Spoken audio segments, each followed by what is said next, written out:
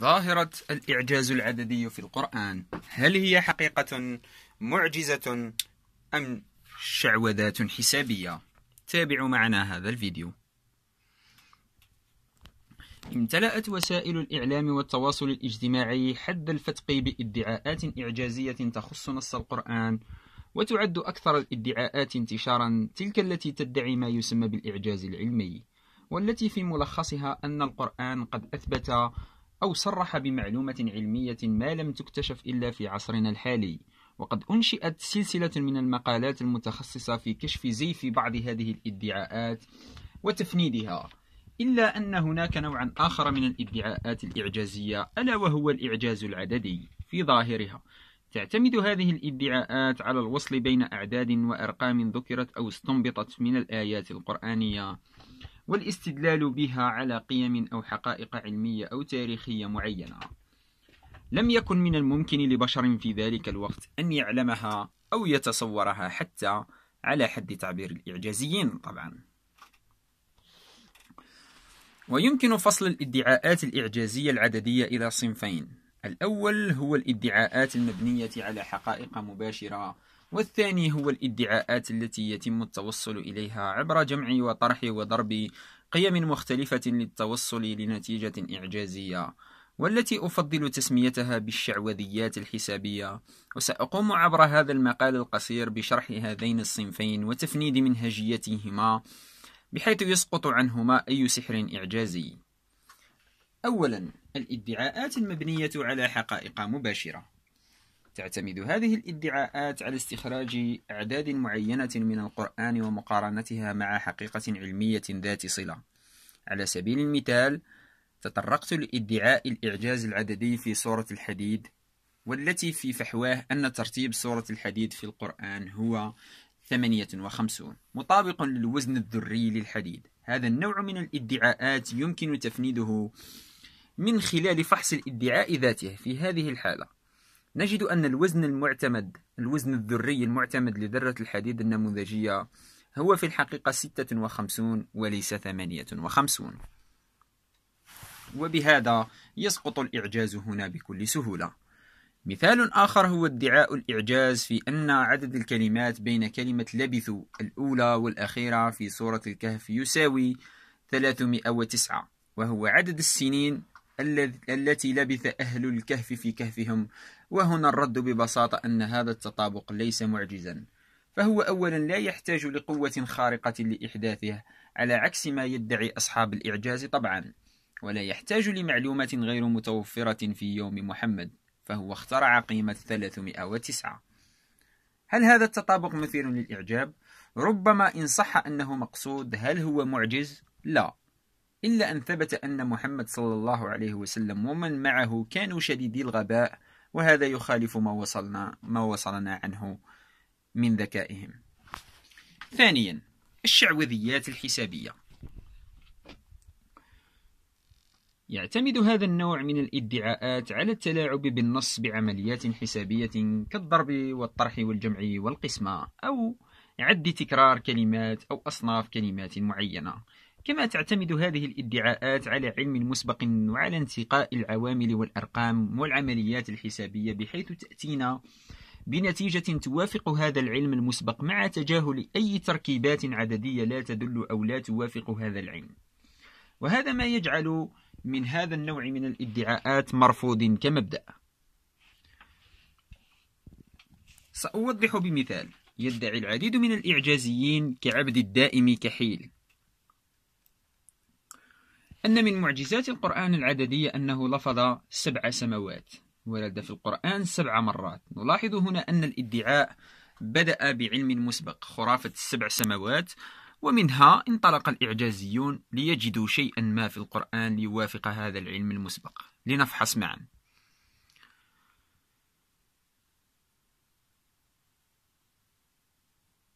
كبداية. بما أن هذه المعلومة عبارة عن خرافة لا يمكننا فحص صحتها بشكل مطلق لكن بإمكاننا فحص الإدعاء ذاته.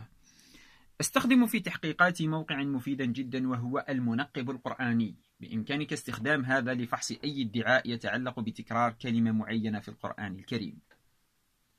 بل يستطيع هذا المحرك أن ينقب عن كلمات باستخدام جذورها الثلاثية لبحث لبحث أشمل. لننقب خلف كحيل. يردد لفظ السبع سماوات خمس مرات ولفظ السماوات السبع مرتين. خمسة زائد اثنين تساوي سبعة. سبحان الله. ليس بعد. وإليكم كيف. أولا المنهجية مغلوطة. إن أكبر معضلة في منهجية الإعجازيين هي أنهم يبدأون بالنتيجة. وكما يعلم الأفراد ذوي الخلفيات العلمية هذه منهجية فاشلة يبدأ الإعجازيون هنا باكتشاف بعض المصادفات العددية في القرآن. ثم يبحثون عن طرق لصياغتها على هيئة معجزات فيبحثون عن التكرارات التي توافق التصادف الوارد ثم يحاولون تجنب أي ألفاظ أو أشكال قد تكسر معادلتهم المخترعة. وهذا ما يعرف بمغالطة قناص تكساس. ببساطة يحدد الإعجازيون نوع التوافق وهيئته بطريقة مهندسة لتظهر النتيجة المطلوبة على حسب نظريتهم هم. سيتضح الأمر في النقطتين التاليتين. القيم منتقات بعناية. منهجية الإعجازيين في هذا الادعاء هو التنقيب عن الألفاظ القرآنية التي تدل على سبع سماوات بما في ذلك اللفظ المراد السماوات السبع ليحصلوا على العدد سبعة. لكن نسيوا أو تناسوا بصريح العبارة تناسوا هؤلاء الإعجازيون مرادفات أخرى تدل على ذات المعنى ومنها اثنتين أخريين. بعد بسم الله الرحمن الرحيم. ولقد خلقنا فوقكم سبع طرائق وما كنا عن الخلق غافلين. هذه في سورة المؤمنون. وهناك سبع طرائق. قال مجاهد يعني السماوات السبع. وبعد بسم الله الرحمن الرحيم وبنينا فوقكم سبعا شدادا في سورة النبأ يعني السماوات السبع في اتساعها وارتفاعها وأحكامها. إلينا لفظين قرآنيين إضافيين بنفس معنى السبع سماوات أو السماوات السبع فعلى أي أساس استثنى الإعجازيون هذين اللفظين من حسابهم؟ لا يوجد جواب طبعا لأنهم فقط إعجازيون. ثالثا لا يمكن تعميم هذه المنهجية على أي مفهوم آخر ذي صلة. قد تتصور من إله كل, كل القدرة أن يكون متناسقا في معجزاته فعلى سبيل المثال يعلمنا القرآن أن الله خلق سبع, سما سبع, سبع طبقات من الأرض كما السماء. في قوله تعالى الله الذي خلق سبع سماوات ومن الأرض مثلهن في سورة الطلاق. إذا فمن البديهي أن قام الله بتكرار لفظ السماوات السبع سبع مرات لإعجازنا أن يقوم بالمثل بالنسبة للأرض. لكن الحقيقة أن هذه هي الآية الوحيدة في الكتاب كله الذي يرد فيها هذا اللفظ. هل راحت عن بال الله أن يكمل إعجازه؟ أم أنه ضجر بعد هندسة إعجاز ذكر السماوات فترك ذكر الأرض؟ أم أن الأمر كله مجرد صدفة بلا معنى خصوصا حين نأخذ النقطتين السابقتين في عين الاعتبار؟ ومن ذلك نستطيع استنباط بعض القواعد لفحص أي ادعاء عددي آخر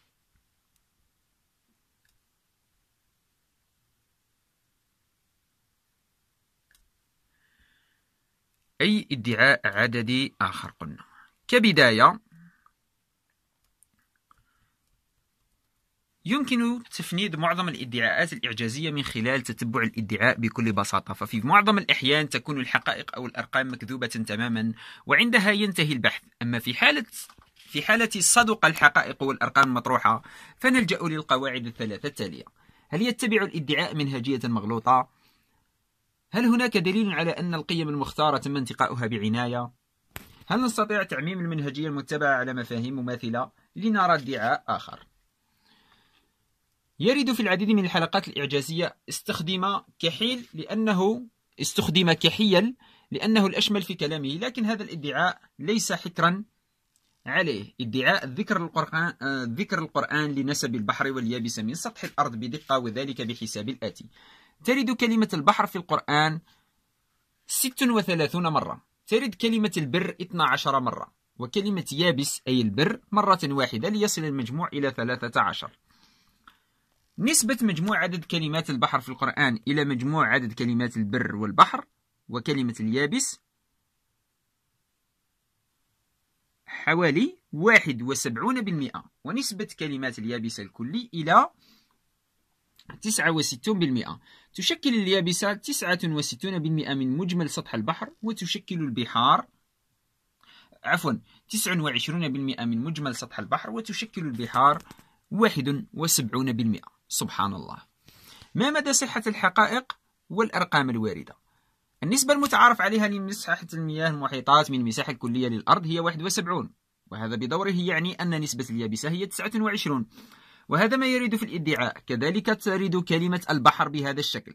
23 مرة وترد معطوفة والبحر تسع مرات أخريات. وهكذا نحصل على 32 ترد كلمة البر بمعنى اليابسة 12 مرة. وبالطبع ترد كلمة يبسا مرة واحدة. إذا لا مشكلة في الحقائق والأرقام الواردة كما وردت. لننتقل الآن لفحص المنهجية المتخذة. هل يتبع الادعاء منهجية مغلوطة؟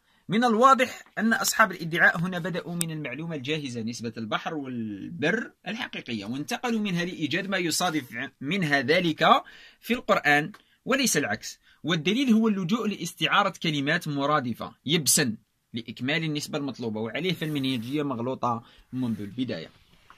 هل هناك دليل على أن القيم المختارة تم انتقاؤها بعناية؟ لنفحص مجددا طبيعة الكلمات المختارة هي مفردة البر البحر يبسا. وتشمل كلمات مرادفة يبسا ويمكن أن تحتمل التعريف البر البحر أو التنكير. فهل يحافظ الإعجازيون على هذه المبادئ في جميع عمليات الانتقاء؟ إن راجعنا مجددا محرك البحث القرآني لنجد تكرار كلمة البحر ومشتقاتها. سنجد أن هناك كلمة وحيدة مفردة ونكرة في سورة النور. بعد بسم الله الرحمن الرحيم. أو, أو كظلمات في بحر لجي يغشاه موج من فوقه موج من فوقه سحاب. صدق الله العظيم. في سورة النور. تستوفي هذه الكلمات جميع الشروط المذكورة أعلاه فهي مفردة ونكرة وتدل على ذات المعنى. لماذا إذن تم استثناؤها؟ هل لأنها لا تشير للبحر بشكل عام؟ كذلك يبسا لا تشير لليابس بشكل عام ولقد أوحينا إلى موسى أن أسري بعبادي فاضرب لهم طريقا في البحر يبسا. صدق الله العظيم في سورة طه. في الحقيقة تستوفي هذه الكلمة جميع الشروط التي تستوفيها كلمة يبسا. بل تزيد على ذلك أنها تطابق اللفظ المطلوب وليس مجرد مرادف. لذلك لا يوجد أي سبب منطقي مقنع يبرر استثناء هذه الكلمة مع الحفاظ على كلمة يبسا في العد. والآن لنكشف السبب الحقيقي وراء استثناء كلمة بحر. مجموع عدد كلمات البحر حين نضم لها الكلمة أعلاه 33 نسبة هذا المجموع من المجموع الكلي 76% بطلت النسبة وبطل الإعجاب. الآن لنضحك قليلا. تكلم محمد راتب النابلسي عن هذا الإعجاز في إحدى كتاباته والمثير في الأمر أنه أبقى على كلمة بحر المذكورة أعلاه في الحسبة فكان المجموع 33 ورغم ذلك لم يرى النابلسي أي مشكلة في الإدعاء بالإعجاز. كيف؟ سأقتبس كلامه مباشرة.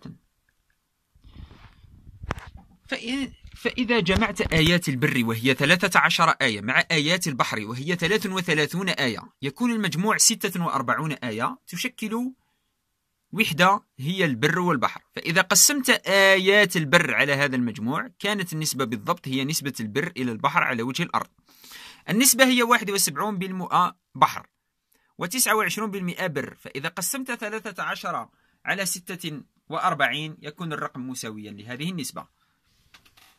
يبدو أن الرياضيات ليست من نقاط قوة دكتورنا هذا العلامة النابلسي هذا النوع من الاستحمار والتضليل بالطبع ليس غريبا عن النابلسي وبإمكان مطالعة بعض المقالات التي تتناول بعض ادعاءات النابلسي بالتفصيل.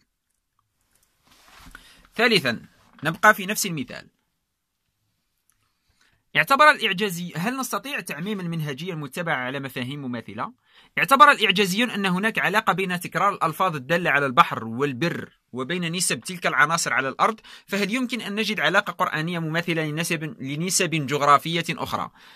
ماذا عن نسبة الجبال من اليابسة؟ تقارب نسبة المناطق الجبلية على الأرض الأربعة والعشرون بالمئة من مجمل مساحة اليابسة وباتباع منطق الإعجازيين يجب أن نجد أن ذكر الجبال في القرآن يعادل 24% من ذكر اليابسة عدد مرات ذكر جبال والجبال في القرآن هو ستة وثلاثون مرة.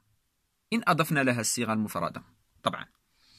عدد مرات ذكر البر 12 أو 13 مع كلمة يبسن. لا داعي لحساب النسب. لا داعي لحساب النسب. هنا لنستنتج أن هذه المنهجية لا تنطبق على هذا المثال بتاتا وإطلاقا. وأدعوك عزيزي المشاهد أن تحاول ذات الشيء مع أي نسب جغرافية أخرى وأن تشاركنا النتائج في التعليقات. وهذا طبعا دليل آخر أن المنهجية المتبعة اعتمدت على النتائج المسبقة أي أنك تنطلق من النتيجة لتذهب إلى آه، صنع الإعجاز. آه، إن صح القول. إلى صنع الإعجاز إن صح القول. واعتمدت على النتائج المسبقة بدلا من البحث العلمي السليم. نقطة إضافية. إن النسب العلمية المذكورة أعلاه ليست ثابتة. ليست ثابتة طبعا. فالأرض في تغير مستمر والعوامل المختلفة كزحف القارات والاحتباس الحراري والعصور الجليدية تغير نسبة البحر والبر من مساحة الأرض بشكل كبير وعليه لو صدف أن كان الادعاء صحيحا فماذا سيحدث الادعاء بعد 200 سنة؟ أليس القرآن صالحا لكل زمان ومكان أم أن الله فاته هذا التفصيل البسيط؟ سمحنا الله طبعا الآن وقد انتهينا من تفنيد ادعاءات الإعجاز العددي في القرآن لندفع بالفكرة إلى غايتها من خلال البحث عن إعجازات عددية في كتاب غيره ألف العملاق الأدبي الأمريكي هيرمان ميلفين رواية موبي ديك وفيها نجد الأرقام التالية كلمة حديد ايرون تظهر 86 مرة في الرواية. العدد الذري للحديد هو 26 الوزن الذري 56 نظائر الحديد المستقرة أربعة نظائر. 26 زائد 56 زائد 4 تساوي 76 كيف لكتاب موبي ديك أن يحتوي كل هذا قبل أكثر من 50 سنة من تطور علوم الذرة والجدول الدوري؟ سبحان هيرمان.